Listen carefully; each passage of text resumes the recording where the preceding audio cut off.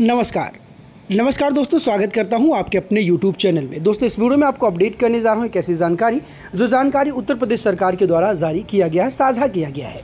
शहरों में विकास कार्यों को गति देने के लिए उत्तर प्रदेश सरकार ने उत्तर प्रदेश मात्र अर्पण योजना शुरू की है। इस योजना के अंतर्गत दानदाता सात प्रतिशत अंश देंगे एवं शेष चालीस प्रतिशत सरकार देगी यह राशि संबंधित विभागों के बजट से दी जाएगी। योजना की निगरानी के लिए पोर्टल एवं एप्लीकेशन तैयार किया जाएगा। इस वीडियो में जानते हैं कि तीस दिन के अंदर कैसे आपके कामों को स्वीकृति मिलेगी और मात्र अर्पण योजना क्या है? नगर विकास विभाग ने जारी की योजना, संबंधित विस्तृत दिशा निर्देश भी जारी कर दिए गए हैं। योजना की निगरानी के लिए पोर्टल और एप्लीकेशन किया जाएगा तैयार। आइए इस वीडियो में जानते हैं वो कौन सी बहनें हैं, वो कौन सी दीदियाँ हो, कौन से लोग हैं जो इस योजना का प्रत्यक्ष तौर पर लाभ ले सकते हैं और घर बैठे आसानी से लाखों रुपए कमा सकते हैं। तो आइए इस वीडियो को शुरू करते हैं।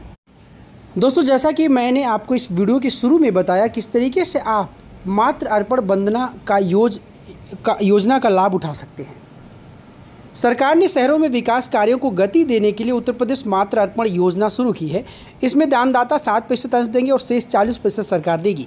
यह चालीस प्रतिशत राशि संबंधित विभागों के बजट से दी जाएगी। दान की राशि जमा करवाने के तीस दिनों के अंदर काम की स्वीकृति संबंधित जिलाधिकारी प्रदान कर कार्य की प्रगति रिपोर्ट सरकार को देंगे। योजना के प्रस्ताव नगर निगमों द्वारा, नगर आयुक्त के माध्यम से तथा नगर पालिका परिषद और नगर पंचायतों में अधिशासी अधिकारियों द्वारा जिलाधिकारियों के माध्यम से शासन को भेजे जाएँगे। इस योजना के तहत यदि दानदाता स्कूल व इंटर कॉलेज की कक्षाओं या स्मार्ट क्लास के निर्माण के लिए धनराशि उपलब्ध कराते हैं तो शेष धनराशि बेसिक व माध्यमिक शिक्षा विभाग के बजट से प्रदान की जाएगी। इसी तरह सामुदायिक भवन के लिए नगर विकास विभाग से, प्राथमिक चिकित्सा केंद्र के लिए चिकित्सा एवं परिवार कल्याण विभाग से पुस्तकालय और खेल कूद के लिए व्यायाम भवन और उपकरण एवं खेलकूद हेतु युवा कल्याण विभाग से धनराशि ली जाएगी।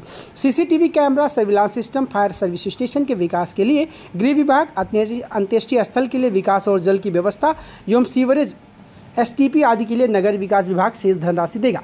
बस स्टैंड और सोलर एनर्जी, स्ट्रीट लाइट और पेयजल योजनाओं, आर प्लांट के लिए अतिरिक्त ऊर्जा स्रोत व नगर विकास विभाग सहायक की भूमिका में होगा। योजना को प्रभावी तरीके से लागू करने का काम उत्तर प्रदेश मातृभूमि सोसाइटी का होगा। दोस्तों, आपको बता दूँ, इस योजना की निगरानी के लिए एप्लीकेशन और वेबसाइट तैयार किया जाएगा।